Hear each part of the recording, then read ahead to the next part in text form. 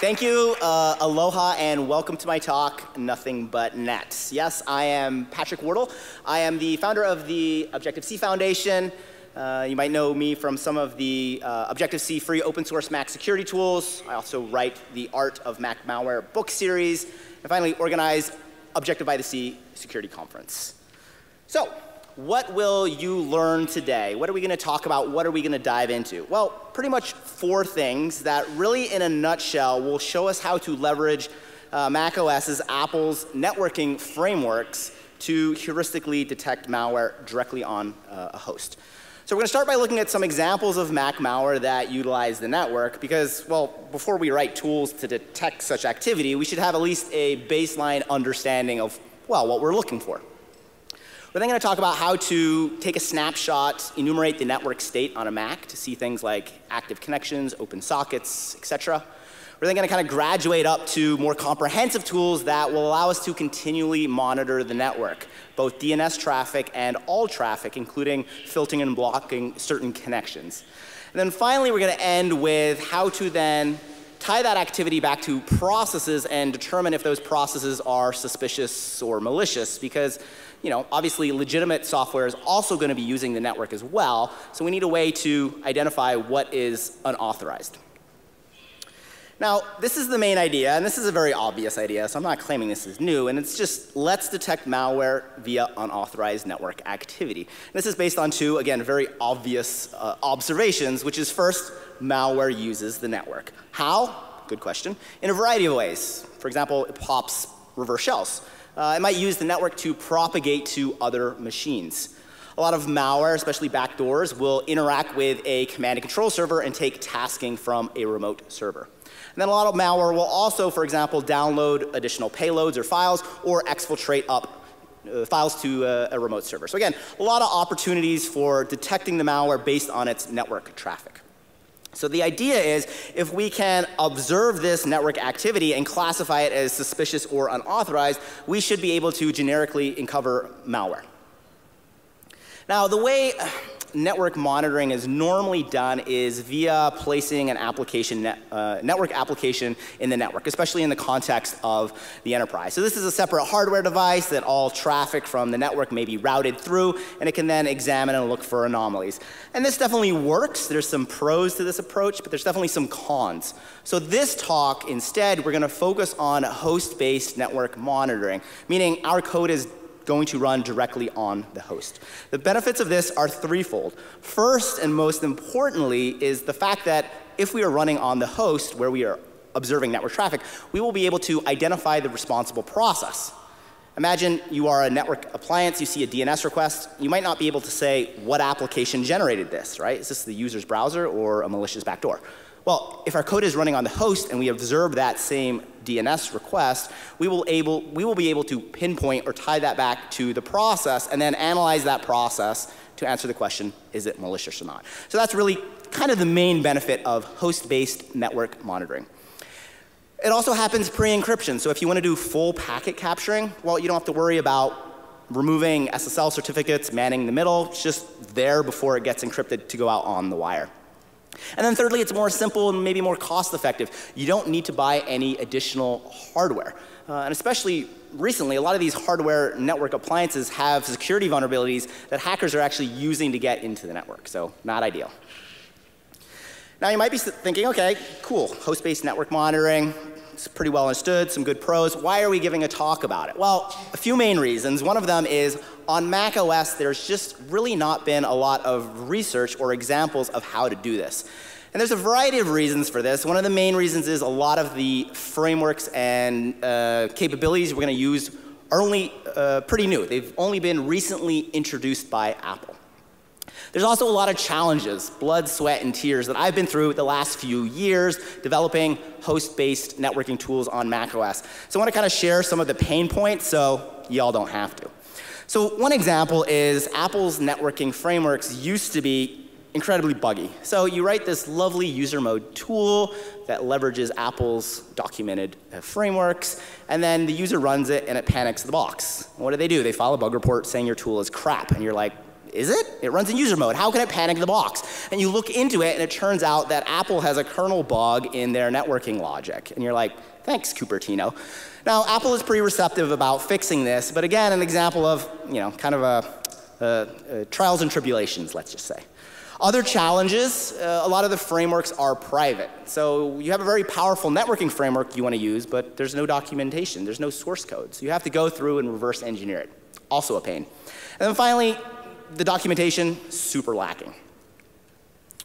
The other thing that Apple originally did, which was really not cool, was that they actually neutered capabilities themselves. So story time, you used to run network monitoring tools that ran directly in the kernel. Uh, this makes sense, it's where the networking stack is. Apple said, mm, we don't want third-party kernel extensions anymore in Mac OS, so we're gonna kick you all out of the kernel. But don't worry, we've introduced some new frameworks that your code can link against and utilize to give you the same capabilities. And I was like, okay, this is actually kind of neat. Writing kernel code is a pain in the butt. If there's a bug in it, it's going to panic the box. So yes, I would rather write a tool that runs in user mode if it gives me the same capabilities as before. What Apple didn't tell anybody is they exempted a large number of processes that would not be routed through these user mode networking frameworks. So imagine you wanted to write a firewall that maybe blocked all traffic yeah, good luck, because Apple's system processes would be exempted from that. And again, they did this without telling anybody, which in my opinion is, well, wrong. So we reversed engineered and figured this out and called Apple out. Turned out it was trivial to leverage, leverage these trusted processes to generate network activity on your own behalf. So once we created a proof of concept that was able to bypass this and reported it to Apple, they said, no, this is functionality by design. Went to the press, made some noise, made Apple look bad. They immediately fixed it. So a takeaway, if you want to enact change at Apple, make them look bad. The unfortunate reality. So now, as I mentioned, let's look at some Mac malware, ones that access the network, to get a good understanding of the kind of activity we're going to look for. The first malware sample I want to talk about is called Dummy. I named it Dummy because it's pretty dumb, uh, but it's simple and effective in a way, so maybe that's a kind of a harsh name. We can see on the slide, it's basically a bash script that executes various Python commands that do three things. Connect out to the attacker's remote server, redirect standard in-out error, and then spawn an interactive shell that's tied to those sockets. And again, because the file descriptors for standard in and error have been redirected to the socket, this gives the remote attacker a reverse shell on the infected system. So again, it's kind of a standard vanilla reverse shell. Another piece of Mac malware that uses the network is IP Storm. IP Storm is interesting for a variety of reasons. One of the reasons is it was originally written on Linux. As Macs become more popular, more prevalent, especially in the enterprise, we're seeing a trend of malware authors and adversaries porting or recompiling their malicious creations to run natively on macOS. IP Storm is a great example of that. So hackers are definitely taking notice of macOS's increased popularity. Now, as we can see on the slide, the quote from the company that did the initial analysis, the malware would propagate from one system to the next by SSH brute force attacks. Uh, so the idea is if it could guess the password or brute force in, it would then infect the system. So it had some worm-like capabilities. Again, this network activity, if we can uh, observe that, maybe that's an opportunity to detect this malware. Once IP Storm successfully infected a system, it would then open a reverse shell. So again, network activity that we could perhaps use to detect uh, the infection. Another recent Mac malware specimen that leverages the network is GoRat. GoRat is a pretty standard but fairly feature-complete backdoor for Mac OS. I've listed its capabilities. You can see it, things, it does things like upload files, download files, pretty standard. However, it does have some additional capabilities which we don't commonly see in Mac malware that allow it to interact with other systems via the network. For example, it has the ability to generate a port scan. So again, if we're interested in detecting malware via network activity, if the malware is generating port scans of remote systems, maybe something, uh, that's something we can pick up on. It also has the ability to set up tunnels and proxies, more network activity to, for us to detect. It's also worth talking about supply chain attacks. These are becoming, unfortunately, ever more prolific. And again, the adversaries are now starting to target Mac OS systems. Normally, supply chain attacks mostly impacted uh, Windows systems. A great example of this, of a supply chain attack attacking and targeting Mac systems, is 3CX. Uh, what happened is an APT group associated with the North Koreans broke into 3CX, which is a popular PBX software for uh, the enterprise. They installed a macOS backdoor on 3CX's build server and Trojanized 3CX's desktop application. This meant when users around the world downloaded the update, they would inadvertently get infected. One thing to note is before the adversaries did this, uh, after they infected the installer, but before they distributed it, they actually sent it to Apple. And this is because on recent versions of macOS, software has to be notarized, which means Apple has scanned it and given it their stamp of approval before it will run. So the attackers took a little bit of a gamble here, essentially sending the infected installer to Cupertino. Apple happily notarized it. Less than ideal. So how was 3CX, how was the supply chain found? Because again, super stealthy, uh, and the payload is you know, signed and notarized. Well, it turns out via network traffic. So as we can see on the slide from the 3CX forums, the user basically said, hey, one of my EDR products noticed anomalous DNS requests gener generated from the 3CX application. So again, this kind of drives home the point of the power of network detection, and especially in the context of supply chain attacks, this is probably the best approach for us to detect intrusions. Speaking of best approaches, also worth mentioning iOS. Now, this talk is predominantly about macOS, but a lot of the techniques we talk about, the frameworks also exist on iOS. So it would be not that difficult to write similar capabilities on iOS. Now, to detect malware on iOS, you're basically SOL because iOS is so locked down. On a non-jailbroken iPhone, you can't even get a list of running processes. So like, how are you going to detect malware? Unfortunately, nation states have zero-click, zero-day vulnerabilities that allow them to infect iOS devices by merely knowing someone's phone number. Uh, so anywhere in the world, they can hit you. And once they're in, yes, that's a hard target to get into, but they can actually leverage the security of that system as a protection mechanism.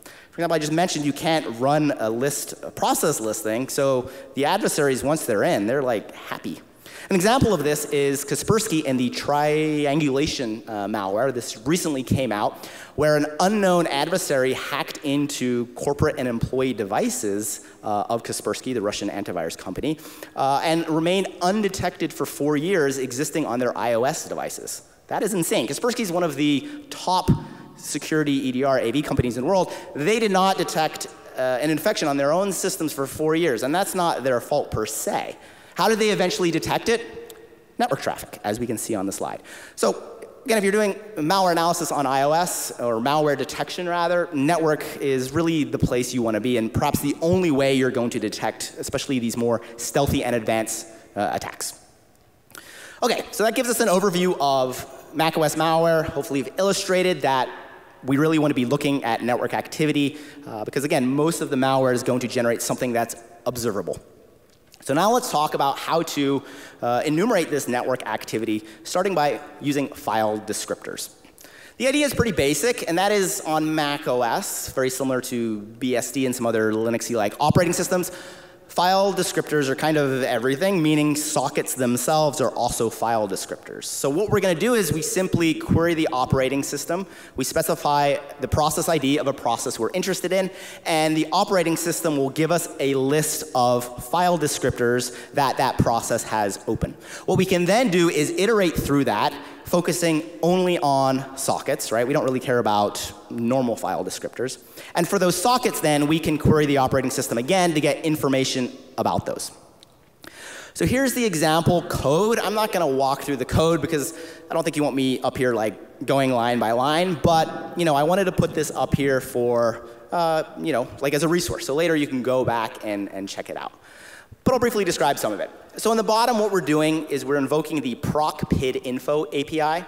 We invoke this first with a PID, uh, the process we're interested in file descriptors, uh, and then a bunch of nulls. The operating system will return to us the size of the buffer we need to allocate to store the file descriptors in memory.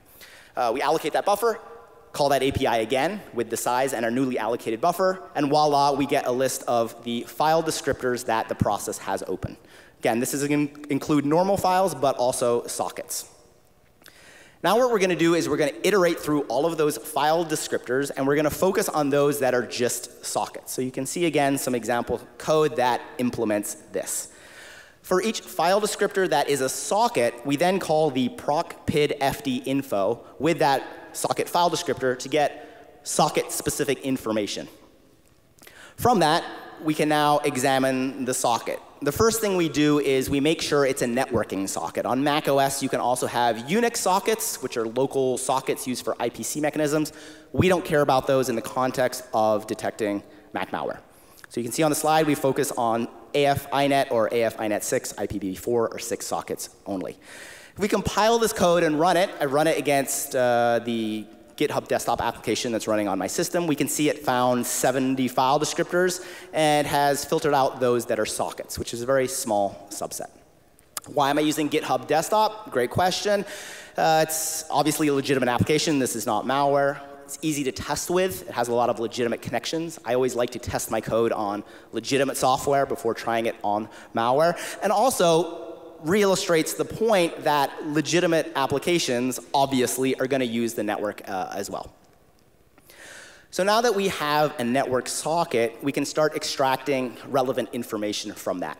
If it's a UDP socket, there's not a ton of information because it's stateless, but we can at least, for example, extract the local port.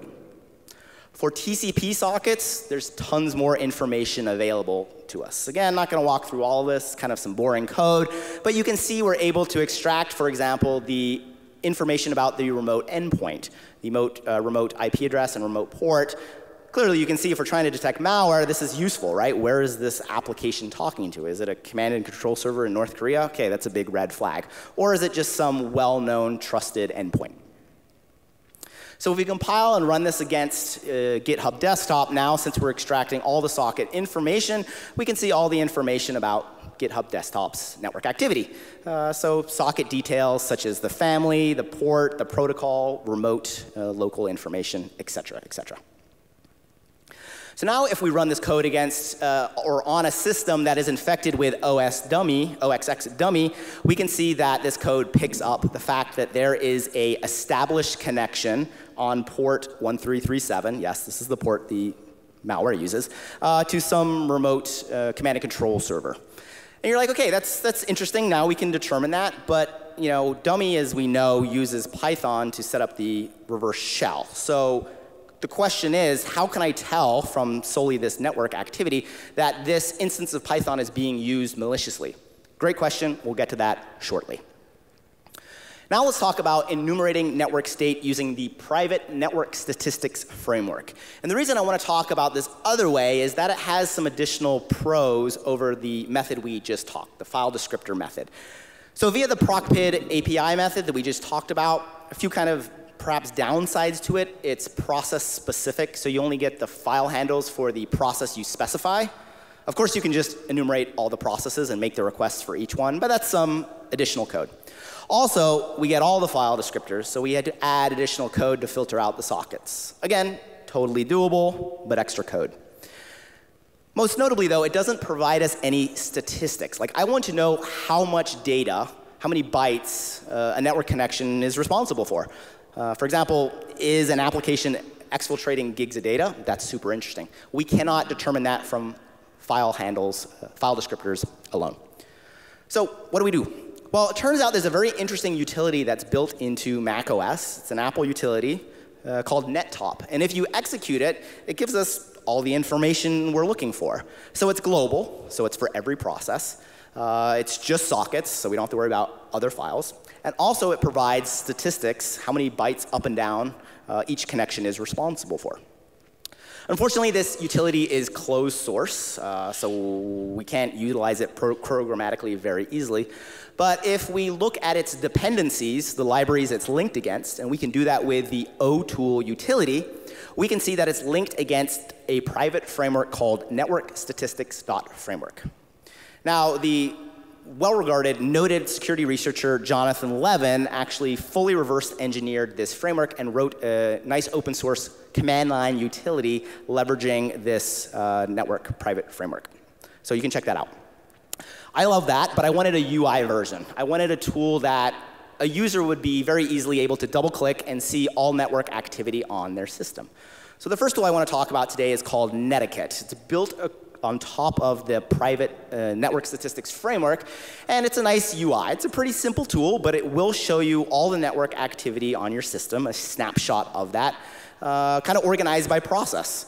You can also see information, as you would expect, about the interface it's bound to, the state of the connection, but yes, also bytes up and down. If you're interested in learning more about this tool, pop over to the Objective-See website. It's free, fully open source. But let's look briefly at some of the code uh, behind it, the code that interacts with the private network statistics framework, because it's actually pretty straightforward. So the first thing you have to do is create a NSTAT manager, a network statistics manager. You allocate that. Once that has been created, you set a callback block via the NSTAT sort set description block function. And we'll get to that in a second. Then you tell the operating system, that framework, that you're interested in all TCP and all UDP connection. There are uh, APIs for that. And then what you do is you start a query. This tells the operating system to call the API in the framework and enumerate all current network activity. And for each connection, it will invoke the callback block that you've set. So here we just call nslog, which will print out information about that. We then link in the network statistics framework and run it. What information do we get for each connection? A ton, which is great. Detecting malware, the more information we have, the better. So here are the details from one single connection from GitHub Desktop. A little hard to read, that's kind of by design, just to show you how much information this private framework gives you, again, for every connection on the host. You can see the responsible process. Again, this is something we really are interested in. Is it malware or is it, you know, GitHub Desktop? We also get the transmitted bytes up and down. And then if it's a TCP connection, a ton of information uh, about the connection as well. So a really powerful framework to use.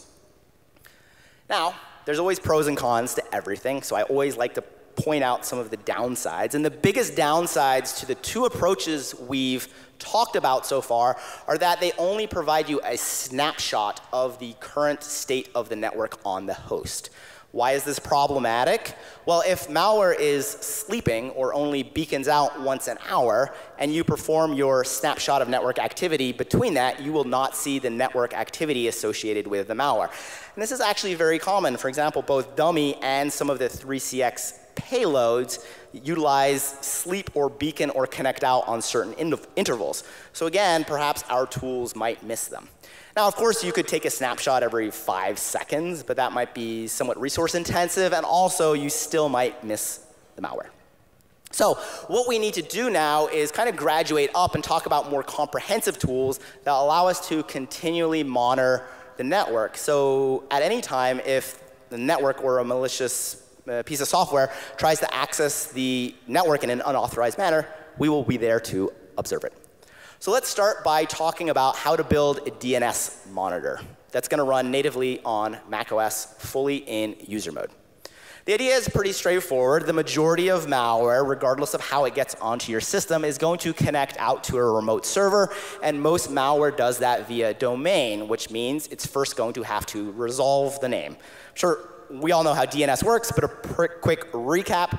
The malware tries to connect out. This generates a DNS request to the DNS server. The DNS server returns the IP address, and then the malware connects out to the IP address. So the question is, is this a good approach to detect malware? And I think the answer is yes, it's very efficient because, again, most malware is going to be generating DNS requests. We don't have to monitor all network traffic. And in the case of some very stealthy malware attacks, like the 3CX one, this was actually how the malware was detected in the first place, anomalous DNS requests. So how do we build a DNS monitor for macOS? More generically, how do we build these monitoring tools that allow us to continually monitor the network? The answer is to use Apple's Network Extensions Framework. This is a pretty new framework that Apple uh, now affords us to use. Uh, I believe originally was available on iOS, but now you can utilize it on macOS. And like some of the other frameworks and APIs I've talked about, this is actually decently documented. So kudos to Apple here. You can read on Apple's site all the cool things you can do with network extensions. They're actually incredibly powerful. We're going to focus on the last two, uh, specifically how to intercept DNS traffic. And then we're going to talk at the very end about how to filter all network traffic. So again, we can use network extensions to do both of these. There's a great WWDC video where Apple explains exactly how to use these. Have a watch. So in order to build a DNS uh, monitor, we actually are going to use a DNS proxy class. Uh, and that is the NE DNS proxy manager class. So I saw this in the documentation, and it says, hey, this will allow your application to intercept all DNS traffic. Perfect. How do I do this? So I write code by Googling things. Uh, and so I just Googled it, and there was like two hits. The first one was Apple's developer documentation that kind of described the APIs, but not much more. And then the second hit was like, hey, y'all, how do we do this? So I was like, huh, well, other people are in the same boat as me. There's no example code, there's no great documentation. So this could also be a learning experience for me. This is a tool I want to write anyways. Uh, so I saw that there would be some uh, other interest as well. You know, I'm not the only person who wants a host-based DNS monitor for macOS. There's at least one other person, so worth it. So the tool I wrote is called DNS Monitor. Uh, again, fully open source, free on Objective-See.org. And you see when we execute it from the terminal, if we then resolve a DNS name, for example, Objective-See.org via NSLOOKUP, this will generate a DNS request that we can intercept. Now, unfortunately, there are several prerequisites. So if you're interested in writing your own network monitoring tools, which you should, it's great fun, uh, there are some hoops you have to jump through, unfortunately. So first, when building it, you have to have certain entitlements that Apple may or may not give you. So be prepared to beg. Also then, when you build it, there's a lot of constraints. Uh, specifically, you have to put your network extension in a certain place of the application. Uh, so building the project can get a little hairy. And then, of course, you have to sign and notarize this. So this means you have to at least pay Apple a few hundred bucks for the developer ID and get them to uh, validate and notarize it. OK, now you want your, runner, your, your user to run it. What do they have to do? Click a lot. So if you go to Objective-See.org and download DNS Monitor, which is entitled, which means Apple gave me permission to do this, it's signed and notarized, which means Apple has scanned it and verified it, you still have to click Allow on the Safari prompt. When you open it, Gatekeeper is going to bug you, so you're going to have to click Allow there. When you go to launch the app, it's going to say, hey, wait a minute, this is a network extension instead of a system extension. You need to approve that, so you have to click Open Security Systems. Uh, you then, once in there, have to improve that, which is going to require you to authorize. So you're going to have to put in your password. Uh, and then finally, before it's able to access the network to monitor for traffic, you're going to have to click allow one more time. So this is slightly annoying. And if you're writing code, you have to handle all these situations. Like what if the user clicks no? You have to handle code to maybe do this again or fail gracefully. So this is a little annoying. And at this point, I'm like, man, macOS has really become like Windows Vista. You might not be as old as I am, so you might not remember Vista, but Vista was like this Windows operating system where you had to click allow on everything. And everyone like made fun of it. Guess who made the most fun of it? Apple. They made these hilarious commercials basically ragging on Vista for having users click allow. And since you might not remember that, I have the commercial here that we're now going to watch. So I hope the audio works. If not, there's subtitles. Hello, I'm a Mac. Mac has issued a salutation, cancel or allow. Apple commercial. Allow, and I'm a PC. You're returning Mac salutation, cancel or allow? Allow. Okay, what gives? Mac is asking a question, cancel or allow? Allow. He's part of Vista, my new operating system. PCs have a lot of security problems, so he asked me to authorize pretty much anything I do. You're pointing out Vista's flaws, cancel or allow? Allow. I could turn him off, but then he wouldn't give me any warnings at all, and that would defeat the purpose, so. You are coming to a sad realization. Cancel or allow? Allow. Hilarious. So I don't know if you were counting, but there was five allows. How many allows did we need to install a network extension? Six. So, you know, come on, Apple. If you're going to like rag on Windows, like, don't become them. Now, we're not here to pick on Apple too much, so let's get back to some code, but that was some good comic relief. So let's talk about how to activate a system extension. And network extensions are a subset of system extensions, so any network extension is also going to be a system extension. So again, I'm not going to walk through the code too much. This is more of kind of a resource, but at a high level, there's three steps. You basically equate, uh, uh, generate a request to activate a system extension. You then set your delegate. This is a class that's going to handle various methods that the operating system will invoke. And then finally, you submit the request. This is what's going to generate one of the pop-ups, and if the user approves it, your system extension is going to be off and running. Now, though, we also want to monitor network traffic. Again, we're having a network extension. So what we need to do is we need to activate the network extension. This requires five steps. We load the current preferences. We set a description. We initialize and configure a provider protocol. In this case, we're using the NDNS proxy provider protocol because we want to proxy DNS traffic.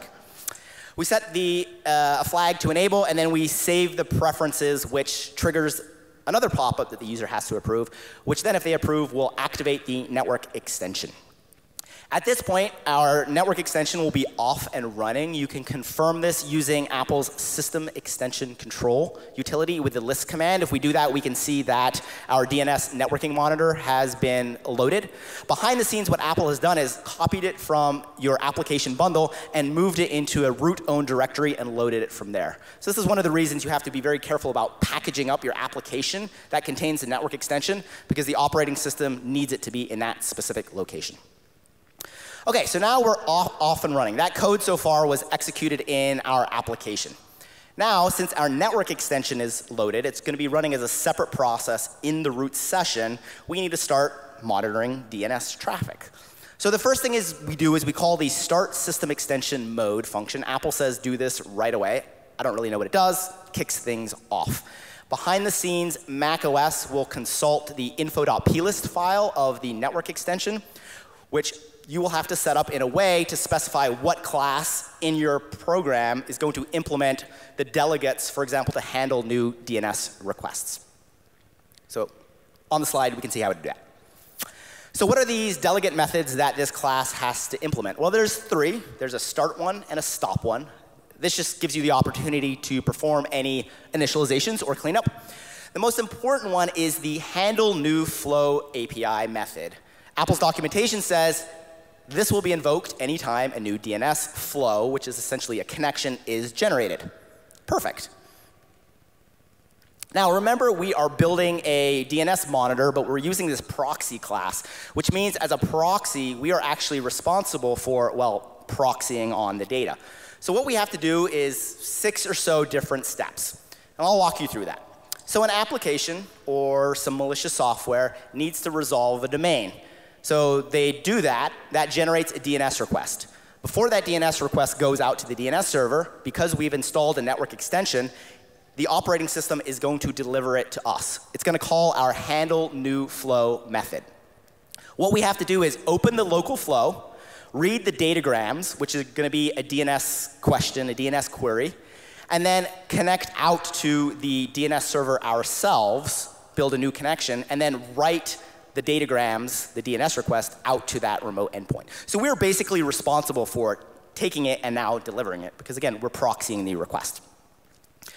This also means we're responsible for reading and delivering the response from the DNS server. So the next two steps are we, re we, read the response from the DNS server and then write it to the local flow, which means it will then be delivered to the local application or the malware, whoever generated the DNS request.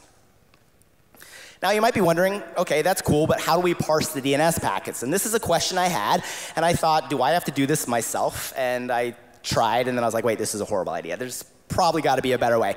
Turns out there's a relatively unknown library called libresolv, it was at least unknown to me, that uh, ships with macOS that you can link into your application or your network extension and you can parse DNS packets. So on the slide we have an example of that. We give it a packet, a DNS request or response. We call the DNS parse packet and it returns to us a structure with all the members of the DNS nicely par parsed out. This is super helpful. Definitely use this library. What we haven't talked about yet is how do we identify the process that was responsible for generating the DNS request. At the beginning of this talk, I said this is the best thing about host-based network monitoring. And well, it is. So how do we do that? Turns out it's pretty easy. The flow object that gets passed to the handle new flow method has what is known as an audit token that uniquely identifies the responsible process, the application, the malware, whomever is trying to make the DNS request. Audit tokens are kind of modern ways to uniquely identify processes. They're more secure than PIDs.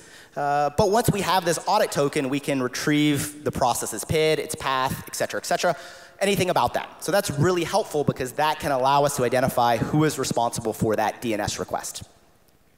So if we compile and execute this code on a system that's infected with 3CX, we can now see that when, again, this very stealthy supply chain attack is executed, when the malware tries to connect out, the Trojanized installer connects out to the attacker's command and control server, we can observe this and say, hey, wait a minute, this isn't you know 3CX, it's talking to some like msstorageboxes.com, big red flag.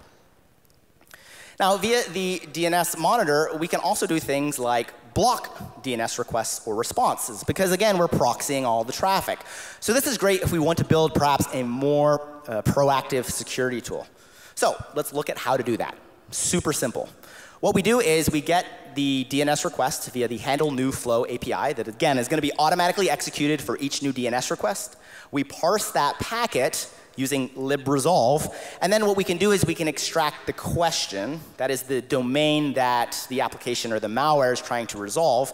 And if it's on a block list that we specify, we simply close out the flow. This means that the connection is actually never going to go out. And from the application's point of view, the DNS resolution has just failed. So if we implement this in the DNS monitor, we can now see that if, for example, I've told it to block google.com, if we try to resolve google.com via you know, NS lookup or any other way, it's just going to time out and the system is going to be like, ah, I can't help you. So this is great. This means now if we know the command and control server, we can block where the malware is trying to connect out to. It won't be able to resolve it and then won't be able to connect out. We can also block the answer. The answer is going to be the IP address that the domain resolves to. So perhaps we might not know what all domains uh, malicious IP address is mapped to. As long as we know that the IP itself is suspicious or bad, uh, when the answer comes back, the answer, recall, is proxied through us before it gets back to the application. So again, we can simply say, is this something we want to block? And if so, close the flow, which will have the same effect. The application will never get the response. Last feature of DNS Monitor, you can dump the cache. This was actually one of the features I wanted the operating system to give me, and one, was the, one of the reasons why I wrote this tool. So what we can do is we can send a signal to the DNS monitor, and it'll basically dump uh, all its records, all the domains and the IP addresses for all the queries on the system. This is great, perhaps, as a troubleshooting DNS troubleshooting tool. Now, there's one shortcoming, again, pros and cons, everything's a package deal, and that is that we're only to see DNS traffic. So let's turn our eyes back to dummy, and if we look at line number six, we can see it connects out to the attacker's command and control server. It uses a hard-coded IP address, which means what?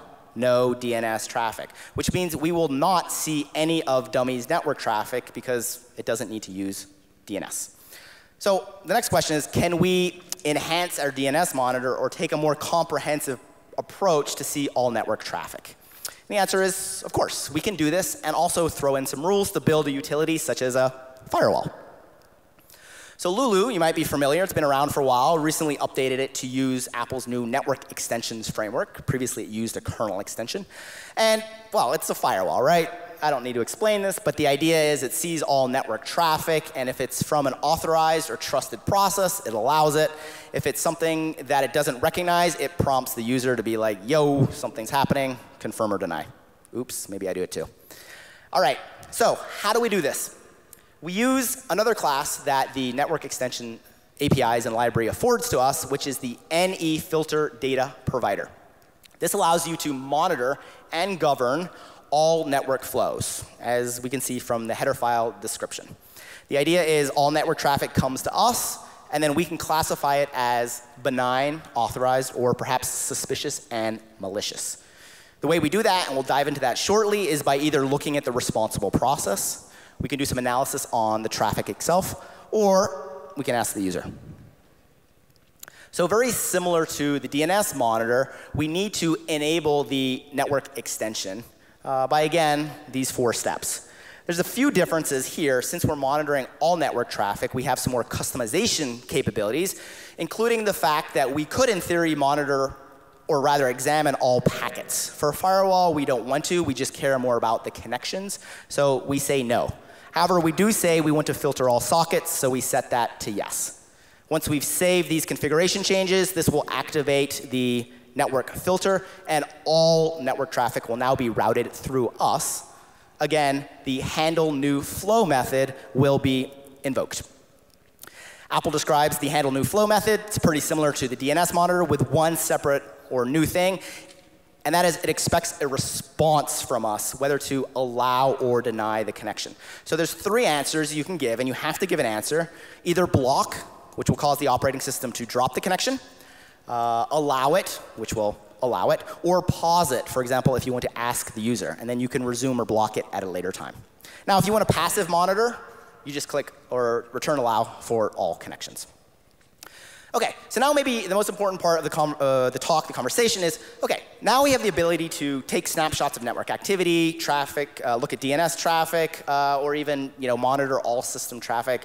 How do we, and this is an incredibly important question, determine if that traffic is unauthorized, malicious, belongs to something that should not be on the system talking to the network.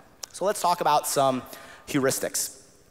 I mentioned there's two main ways, three if you ask the user, but let's just focus on two here. The most common way, and this is well established, is via the network information that is provided in the flow. Now, there's been talks about this, books written on it. This is how most network appliances classify network traffic as being unauthorized or not. So things like state, right? Like a listening socket bound to the external interface on port 1337 or 666, like big red flags, right? Also, maybe statistics is something beaconing every hour or perhaps once a day at midnight and uploading a gig of data to some unknown endpoint. That's suspicious. But again, since we're doing host-based traffic analysis and running on the host, we can also bring in the responsible process. Perhaps, for example, that process that's beaconing at midnight and sending a gig of data somewhere is the backup solution just backing up the user's files at midnight. And that's fine. You will not be able to tell that from a network application uh, or a network appliance. But if we're on the host, we can say, hey, who is doing this? And answer that question conclusively. So let's talk about now how to examine that, that responsible process to perhaps determine if it's malicious or not. Now, I will caveat there are many ways to do that. That could be a talk unto itself, but let's look at some recent examples that would at least be able to uh, identify the malware samples we talked about earlier in the talk as, well, malware. So some examples, you know, is the item that's running a non-platform binary, is it something that's non-notarized? Uh, is it persistently installed? Perhaps a red flag. And is it doing something unusual, for example, with the process hierarchy? So let's look at that. The first one is how to determine if something belongs to Mac OS proper. In Apple parlance, they say that's a platform binary. Uh, and also if it's notarized or not. So notarization, as I talked about, is a method where applications, programs are submitted to Apple and they are approved. Yes, Apple sometimes inadvertently approves malware, but generally speaking, all legitimate third-party software is mostly notarized, whereas most malware is not. So this is kind of a good, pretty solid red flag if you see something that's not notarized. Not going to go through all the code, but once we have an audit token for the responsible process or even a PID, what we can do is we can invoke various code signing APIs in macOS to ask questions like, is this an Apple binary? Is this notarized? And then the operating system will figure that out and give us an answer that will allow us to, well, answer this question. If you're interested in the full implementation, I wrote a utility called BlockBlock, which does some other stuff, but it also has a full implementation of this code. Next question, is it persistently installed? The majority of Mac malware is going to persist. Uh, so if you see a network connection that's tied to a persistent process, maybe cause for concern, or at least something you're going to want to look at a little closer. On recent versions of macOS, persistence is governed or managed by this undocumented backgrounds item database. I wrote an open source utility that will deserialize the items in this database and print them out for you. So this, for example, is what dummy looks like in the database. So OSX dummy persists as a launch daemon. Its component, as we saw, is a script that will run as root, and since it's a script, it's not signed. So we have a persistent script running as root. That's not common. That's, that's cause for concern. And then finally, and we'll stick with dummy here, you should also look at the process hierarchy. So at the very beginning, I posed the question, how do we know that this instance of Python is malicious, or being abused, rather? Well, if you look at the process hierarchy for it, you will see that Python is a child of bash, which is a child of launchd, meaning that it has been persisted and then executed via bash. We can also see it's running as root. So now what we have, just to put everything together, we have a established connection to some unknown IP address on port 1337, strange. Uh, it's tied back to a script that's running as root uh, via Python that's spawned via bash that's persistently installed. Like, all those things are kind of individually strange, but then if we combine them all together, that's a huge red flag. 99% of the time, that's probably going to be malware, at least something you want to take a closer look at. All right, so let's conclude this and wrap this all up.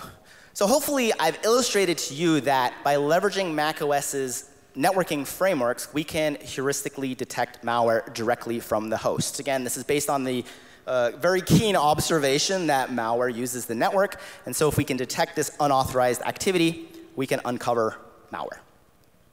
If you're interested in learning more, I've written a book on analyzing Mac malware. It's 100% free uh, on taomm.org for the art of Mac malware. I'm also writing a, another uh, volume which will be about the programmatic detection. So think this topic plus many more. This will also be free as well. I'm going to be doing a book signing tomorrow on volume one at the No Starch Press table at 11 a.m. So if you want to pick up a copy of the book or have me sign it, stop by and say hi. I want to end by briefly talking about our organization because I think it's amazing and I'm super stoked. So the Objective-See Foundation is a nonprofit and we do some really cool things that I just want to share with you because I'm excited about it.